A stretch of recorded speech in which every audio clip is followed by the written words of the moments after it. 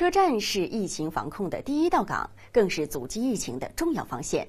东方车站多举措强化疫情防控工作，持续筑牢疫情防控防线，把好源头安全关卡。记者走进车站大厅，站内干净整洁，醒目位置摆放着疫情防控宣传牌。进站旅客佩戴口罩，依次排队体温检测，并出示健康码后方可进站。量体温还有扫那个健康的二维码，我们都很放心。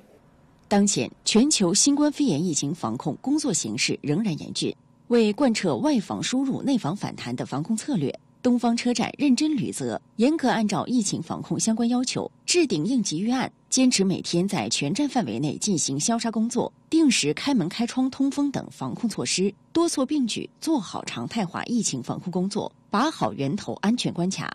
我们发现有超过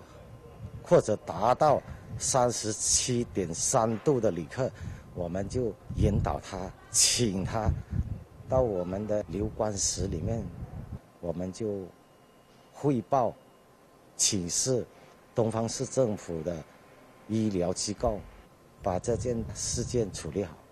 我们战场也是要通风消毒，我们的发班车辆也是每发一班之前都要消毒。我的一线人员呢，上岗之前也要测量体温登记，也要求我们的旅客要全程佩戴口罩。